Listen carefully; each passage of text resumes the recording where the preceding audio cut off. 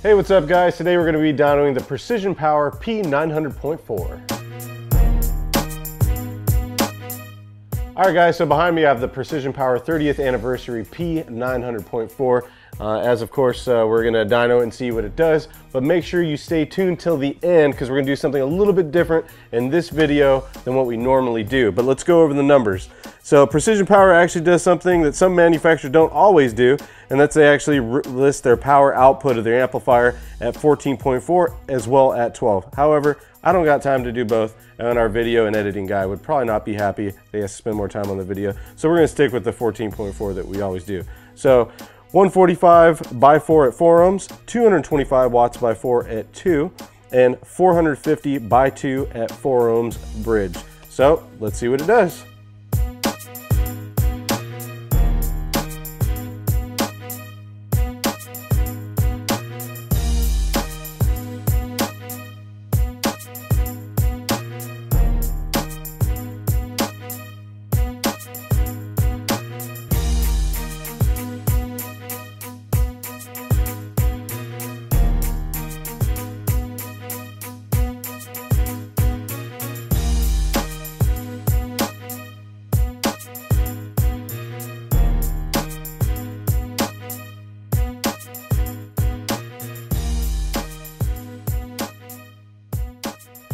All right guys, so the results are in. We're gonna go over our certified and our dynamic results as we always do.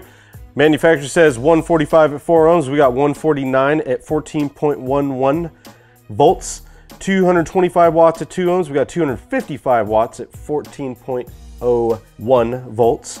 And 450 watts is what is supposed to be bridged. We got 480 at 14.16 volts. Those were certified, and as you can see right across the way, we got our dynamic 152 uh, at 4, 271 at 2, and bridge 491 watts. An incredible performer in such a small chassis, but now we got that out of the way, we're gonna move on to the exciting part, a little bit of the change in our amp dynos that I talked about that I said at the beginning of the video, and that's where we're actually gonna start showing you the internal guts of the amplifier until we get yelled at for doing it. All right guys, so as you can see, I got the amplifier already disconnected. Now we're gonna flip it over and show you the inside guts.